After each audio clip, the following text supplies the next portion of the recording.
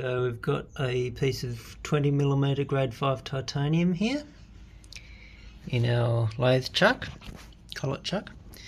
And the drill I'm using, just get a better shot of this drill. What I've done is I've taken a, come on, there we go, taken a, a brand new drill, left one face intact and ground one face back.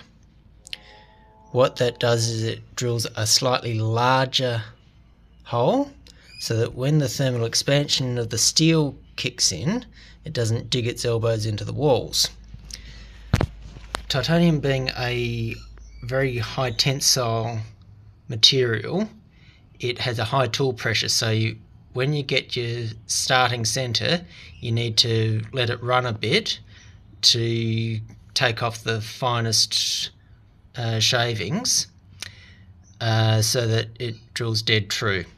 Now we've got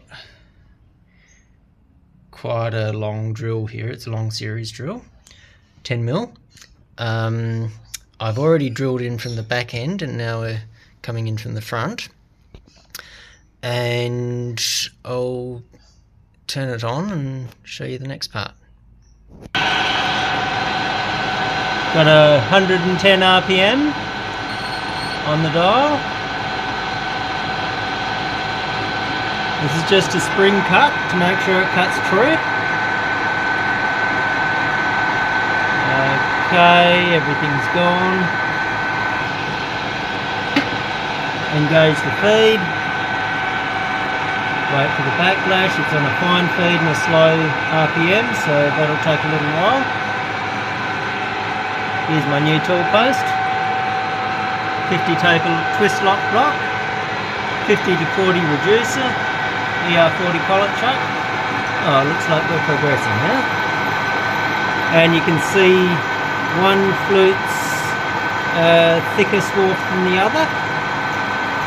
That means it's cutting off centre, which means it's cutting larger, so it's got room for the thermal expansion. If you don't do this, Titanium tends to behave like high tensile butter with attitude issues. You can see a fine bit of swarf coming off.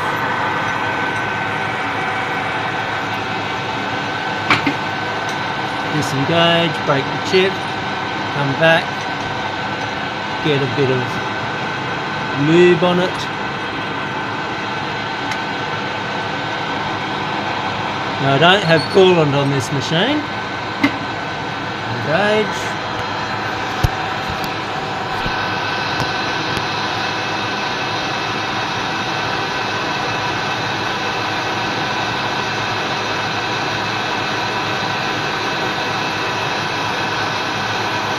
So now I've got to drill 85 millimeters in and meet the other end.